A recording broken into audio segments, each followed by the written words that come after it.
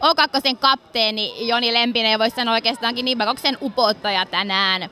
Ensinnäkin onneksi olkoon, hieno ottelu. Kiitos paljon. Minkälainen ottelusarja tämä aivan aika mahoton, tiukka vääntöä joka, joka ottelussa ja viimeiseen asti mennä? Kyllä tota se, että päästettiin vastustajia joka kerta niin maalin karkumatkalle, niin siinä oli aina vähän tekemistä meillä, että päästiin siitä kampeamaan sitten eteenpäin. Vastustaja oli todella kova ihan loppuun asti, että pieni asioihin se ratkesi ja hyvä, että ratkesi näin tällä kertaa. Mitkä ne pienet asiat sitten jo lopulta oli? No, mä en tiedä, kyllä me tota, mun mielestä ehkä pallolla sitten pysyttiin loppupeleissä paremmin. Ne sanotaan toiset ja kolmannet erät. Eka erää oli kyllä vastustaja jokaisessa pelissä, että niissä meillä on jatkossa kyllä parannettavaa, mutta kyllä me sitten saatiin piettyä palloa ja luotua maalipaikkoja ja yritettiin loppuun asti, että kyllä se ajastaan sanotaan ketsuppipurkki auki siellä ja niin kävi nyt. Niin kolmas erä oli se teidän lopullista näytöstä. Nipakos lähti siihen kaksi, kahden maalin etu, etumatkalta, niin mitä ajattelitte sen kolmanteen erän, millä taktiikalla lähditte? Vähän kovempaa karvausta alussa.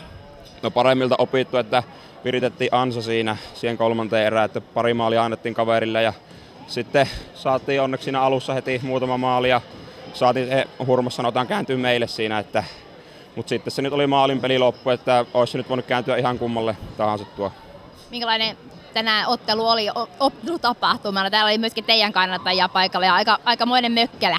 Ei no tuossa sanoin just toisessakin haastattelussa, että harmi, että ei voi molemmat nousta. Että kyllä niin kuin Nipakoski mun mielestä ansaitsisi ehdottomasti nousta tällaisia joukkoja tarvii tuonne divariin ja vielä liikaankin, että on tupaa täynnä. Kakkosdivarin ottelu kuitenkin vielä ja oliko tänään, en tiedä, 700 katsoja täällä, että sinällään sääli, että ei voi molemmat nousta. Todella hieno ottelutapahtuma, että tällaisia pitäisi saada lisää salibändiä. Eli oli kyllä sellainen urheilullinen taistelu molemmin puoli? Oli tota, todella vahva joukko oli vastusta. Mä en sitten tiedä, että jos se ratkaisi siihen, kun ne taisi pelata se edellisen sarjan tota yhden pelin enemmän mitä myö, niin mä luulen, että ehkä se oli sitten se, että meillä riitti vähän hikeä vuorotettavaksi enemmän tänään.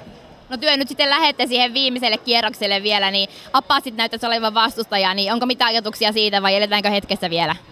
En mä tiedä, Niilsi on kiva kevätkaupunki ja käydään siellä tota, katsomassa minkälainen tapahtuma siellä on. En ihan usko, että samanlaista yleisöä on siellä, että se vähän harmittaa, mutta toivotaan, että siellä olisi muutama läpsi niin sielläkin katsomassa. Ei muuta kuin palautumaan ja oikein paljon onnittelut joukkueelle. Kiitos.